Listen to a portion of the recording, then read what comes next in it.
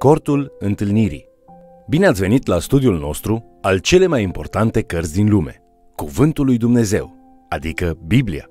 Această lecție se referă la proiectul cortului de închinare sau al cortului întâlnirii și la instrucțiunile pe care Dumnezeu le-a dat ca poporul său să îi se închine lui. În proiectul cortului și în elementele care îl alcătuiesc, vom vedea multe simboluri care prefigurează venirea lui Isus. Haideți să urmărim împreună acest mesaj intitulat Cortul întâlnirii. Astăzi vrem să facem o comparație semnificativă între slujba din cortul întâlnirii și lucrarea lui Hristos pe cruce. Facem acest lucru în speranța că veți fi inspirați cu privire la importanța cărții Leviticului în înțelegerea lui Isus. Să analizăm mai întâi un principiu important de interpretare. Isus nu explică sensul Vechiului Testament. Mai degrabă, Vechiul Testament îl explică pe Isus. Ceea ce cunoaștem este întotdeauna folosit pentru a explica ceea ce nu cunoaștem. Pentru scriitorii Noului Testament, Vechiul Testament reprezintă cunoscutul. Astfel, ei folosesc ceea ce cunosc, adică Vechiul Testament, pentru a-l explica pe acest Isus întrupat, răstignit și înviat. În calitate de creștini, putem pune Vechiul Testament în lumina Noului Testament, dar realitățile Noului Testament își găsesc scopul și semnificația într-o înțelegere în context a Vechiului Testament. Prin urmare, cortul întâlnirii, împreună cu preoții și ritualurile sale, ne vorbesc despre lucrarea spirituală importantă pe care Isus o realizează pe cruce. Ceea ce ei promit, Isus împlinește. Așa că haideți să analizăm mai amănunțit. Cortul întâlnirii este un locaș de închinare pe care Moise îl construiește la porunca lui Dumnezeu. Acolo Domnul își manifestă prezența sa sfântă în nor și în foc. Exodul, capitolul 40, versetele 34 și 35 spune Atunci, norul a acoperit cortul întâlnirii și slava Domnului a umplut cortul. Moise nu putea să intre în cortul întâlnirii, pentru că norul stătea deasupra lui și slava Domnului umplea cortul.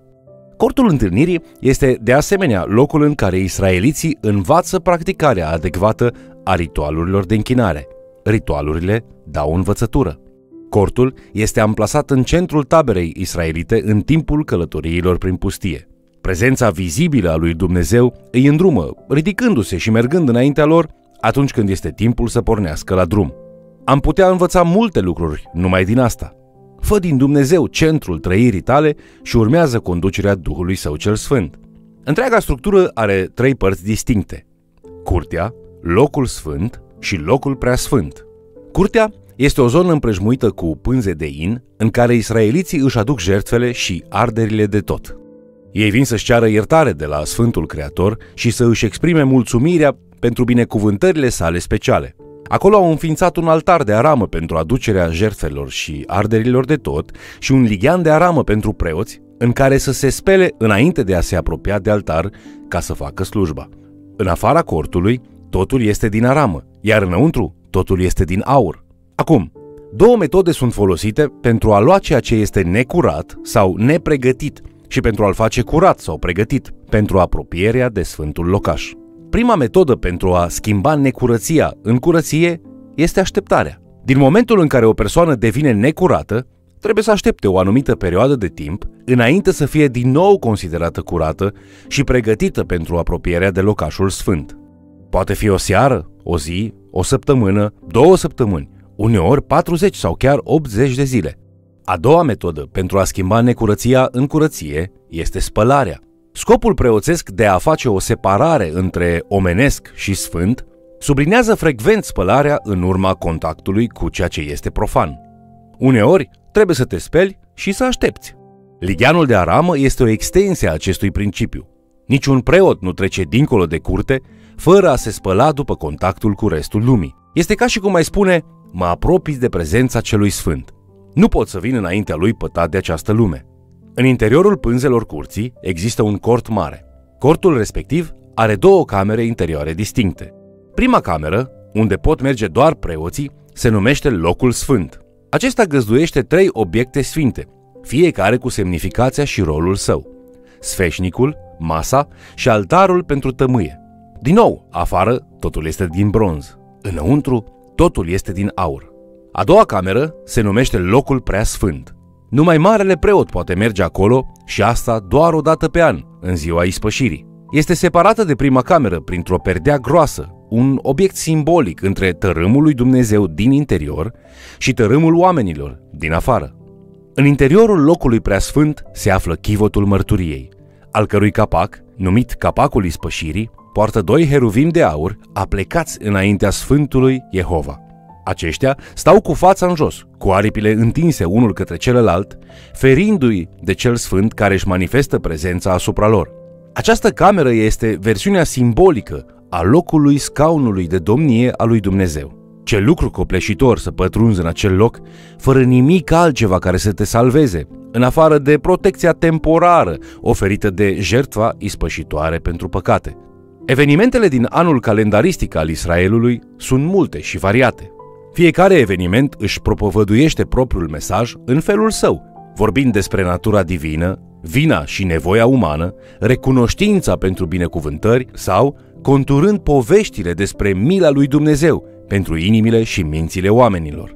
Sunt prea multe pentru ca să le putem discuta pe toate în timpul care ni se permite, dar trei dintre ele pot clarifica importanța pe care sacrificiul lui Hristos a avut-o pentru actualizarea simbolicului din modelul de închinare al Israelului. Jertfa pentru păcatul personal, arderile de tot de dimineața și seara și ziua ispășirii.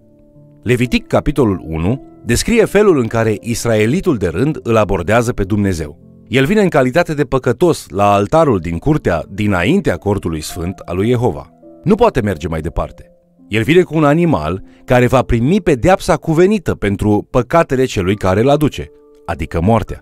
Animalul trebuie să fie fără cusur. El își pune mâna pe capul animalului pentru a recunoaște că îl simbolizează. Acesta este ucis, curățat și oferit în mod simbolic Sfântului Jehova prin fumul care se ridică prin ardere. Acest lucru dă o învățătură despre nevoia păcătosului. El trebuie să vină cu credința că Dumnezeu îl va asculta și îl va ierta, având încredere în iubirea și mila sa divină. El nu poate ca păcătos să fie propria sa jertfă, ci are nevoie de cineva perfect pentru a muri pentru el, cineva pe care Dumnezeu îl va accepta în locul său. Crucea lui Hristos, ca și altarul dinaintea ei, este locul atât al judecății, cât și al milei, marea speranța păcătosului. Pe ea, o jertfă fără cusur moare pentru a lua pedeapsa pe care o merită păcătosul. Israeliții nu numai că mențin un calendar ritual, ci mențin și un ceas ritual. Ziua este împărțită în 12 ore, începând la ora 6 dimineața și terminându-se la ora 6 seara. Ziua de lucru a preoților implică o rutină rituală de dimineața și de seara, care se dovedește importantă din punct de vedere teologic. Este folosită în Noul Testament pentru a predica despre lucrarea lui Isus Hristos cu putere. Atât în ceasul al treilea, cât și în ceasul al nouălea, un miel de jertfă era oferit Domnului pe altar și tămâie în interiorul locului sfânt. Ne putem folosi imaginația să vizualizăm călătoria parcursă de acei preoți în timp ce îndeplinesc aceste îndatoriri zilnice. Până acum am luat în considerare evenimentele de la altar, unde păcătosul este mărturisit și ispășit și unde înlocuitorul perfect este jerfit în locul închinătorului imperfect. Acum să lăsăm această scenă în urmă și să urmăm, dacă vreți, preotul în timp ce se îndreaptă spre locul sfânt pentru arderea de două ori pe zi a tămâiei. Ne putem imagina cugetarea preotului în timp ce trece printre sfeșnicul de aur și masa cu pâinile pentru punerea înaintea Domnului. Acolo putem găsi lucruri cu mai multe înțelesuri. Găsim un sfeșnic de aur, având forma măslinului, al cărui ulei aprinde candelele. Sfeșnicul îl reprezintă pe Israel. Acesta, la fel ca și rugul aprins din trecut, simbolizează speranța adevăratului închinător de a sta în prezența Sfântului Foc Mistuitor fără a fi mistuit. Aceasta este imaginea clară a acceptării lui Dumnezeu față de jertfele ispășitoare aduse în afara cortului. Lumina acestor candele își aruncă strălucirea peste masa cu pâinile pentru punerea înaintea Domnului, pe care stau 12 pâini, fiecare pâine reprezentând una din semințiile lui Israel. Lumina este lumina lui Dumnezeu, prezența divină într-o lume întunecată și înțelepciunea divină într-o lume necugetată. Și aici îl găsim pe Isus, făcând simbolul realitate. Adevăratul Dumnezeu vine ca lumina a lumii, ca pâinea vieții și ca înțelepciunea lui Dumnezeu, așa cum spune Pavel despre Hristos în Coloseni capitolul 2 cu versetul 3, în care sunt ascunse toate comorile înțelepciunii și ale științei. El dezvăluie comoara ascunsă în simbolurile Vechiului Testament. Preotul trece mai departe, mergând spre perdeaua care reprezintă cerurile, separarea dintre tărâmul uman și tărâmul divin. Acolo, cuibărit lângă perdea, găsește altarul pentru tămâie. Dimineața și seara, acest simbol înmiresmat al rugăciunilor sfinților lui Dumnezeu se ridică înaintea Domnului. Așadar, nu este surprinzător faptul că acestea devin momente sfinte de rugăciune în timpul cărora simbolul tămâiei este adus la realitate prin rugăciunile propriu-zise ale lui Israel. În timpul unor astfel de momente sfinte, lui Zaharia îi se spune prin Gavril despre Mesia care vine și despre propriul copil neașteptat, care va pregăti o cale pentru el. În Faptele Apostolilor, capitolul 10 cu versetul 3, îl găsim pe sutașul Corneliu care se roagă în ceasul al nouălea, în ceasul jertfei și al arderii tămâie de seară. În acest moment, lumina divină vine la el sub forma unui înger, punându-i să trimită după Petru, care îi va dezluși calea către Dumnezeu prin Hristos. Ei găsim pe Petru și Ioan mergând să se alăture rugăciunii din templu la ceasul al nouălea, când se intersectează cu omul olog și îl vindecă. În fapte, capitolul 2 cu versetul 15, la ceasul al treilea al zilei, când se aduc jertfele de dimineață în templu, primii creștini sunt adunați în rugăciune și Duhul Sfânt coboară asupra lor. Cu o semnificație mai mare decât toate acestea, vedem că aceste două ore sfinte se întâlnesc în Hristos pe cruce.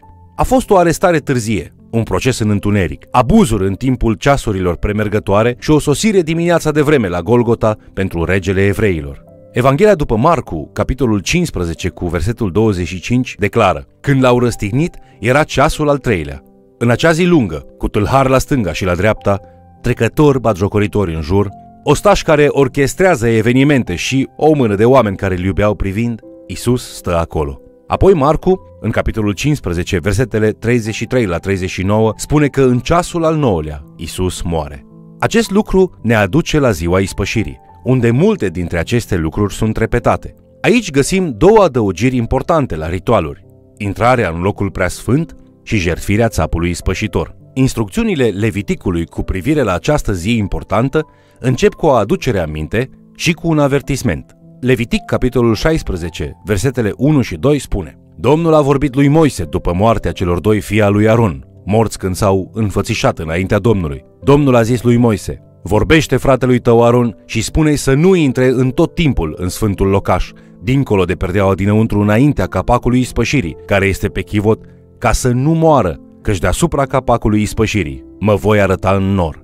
Într-adevăr, aceasta nu este o zi obișnuită de pregătire. În această zi, marele preot trebuie să scalde tot corpul. El trebuie să jertfească un vițel pentru păcatele sale personale și trebuie să repete această jertfă cu un alt vițel pentru întreaga adunare a lui Israel. Înțelegerea valorii animalelor în ritualuri oferă multe indicii despre mesajul său. De exemplu, conducerea poporului are un standard mai înalt pentru căpetenie. Păcatul unui lider are un cost mai mare deoarece afectează întreaga comunitate.